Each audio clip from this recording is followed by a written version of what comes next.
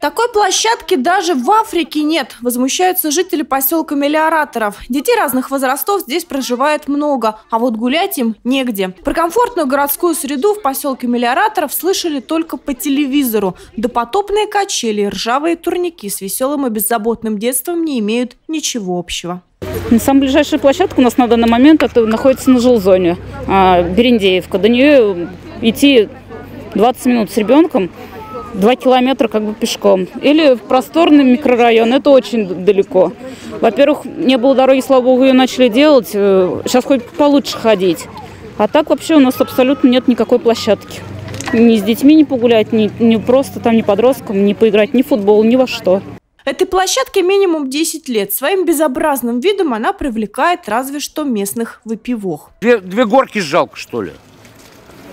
Пластмассовых. Или две качельки там. Ну, песочницу какую-то поставить.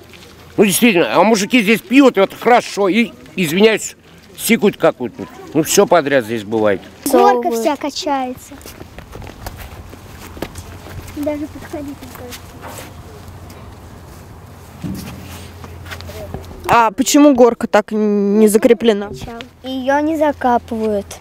Она раскопана. Мне кажется, ее Она раскопана, потому что де- дети... Кто-то раскачал ее. Она шатается. Да. И вот всякие штуки, тут дети могут убиться. Да, вот здесь железный штырь. Там железный штырь торчит.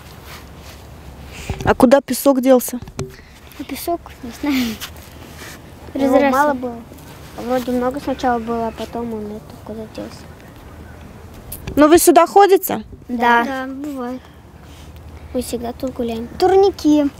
Там, э, Острые уголки. да, там. Незакрепленная горка – это уже не игрушки, а безответственность и халатности Кохомской администрации, к которой относится поселок, и самих жителей. Обновить площадку местные просят уже давно и у депутатов, и у чиновников. Пока только обещания.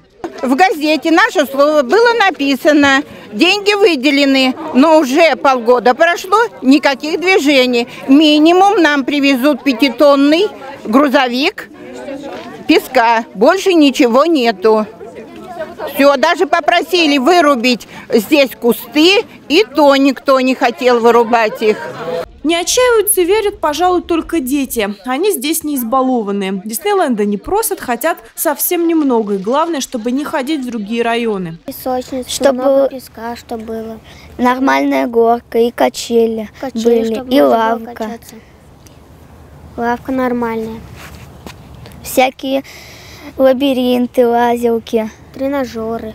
Горка, качели, песочница – все будет, заверили нас в Кохомской администрации. Конкурсная документация готова. Сейчас проходит процедура получения тех условий от энергетиков. В этом году в бюджете муниципального образования предусмотрено 200 тысяч рублей на оборудование самой площадки и дополнительно изысканы средства в размере 60 тысяч рублей для подведения освещения, потому что ну, необходимо обеспечить освещение для более комфортного провождения времени на площадке жителям. Площадку установят в августе-сентябре этого года, а вот старую незакрепленную горку вывезут со дня на день, от греха подальше. По крайней мере, в телефонном разговоре с нашим телеканалом замглавы администрации пообещал это сделать немедленно. Елена Белова, Антон Осипов, РТВ Иванова.